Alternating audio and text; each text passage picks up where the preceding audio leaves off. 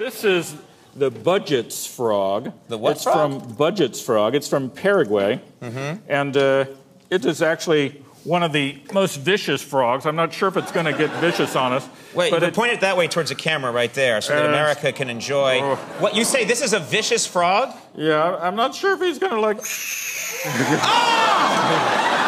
now, if you can see inside, he has fangs. This is a fanged frog down below. He sounds like the devil.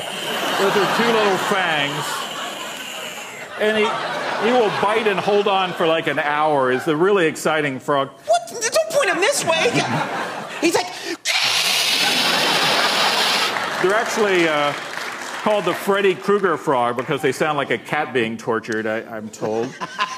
Ah, okay.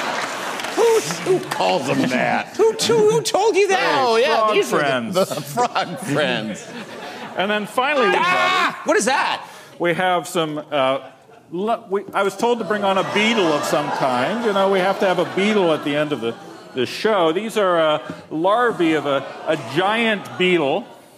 I actually have the world's record for the largest insect, a, a, a cricket from New Zealand called a, a weta. But these turn out to actually, as the grubs, the beetle stage, the grub, grow even larger than this cricket. They can weigh up to s- several ounces, and they have huge jaws. They will actually rip into you. So I wouldn't recommend lifting them up. You could probably stroke their backs if you wanted.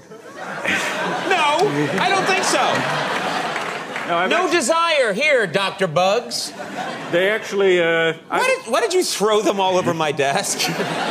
they like to- Everything else was nicely displayed, and then when you get to the, the, the, the most horrible creature, you just throw it all over the place. They actually like to eat wood, so it, it makes them feel comfortable. Look how relaxed they look.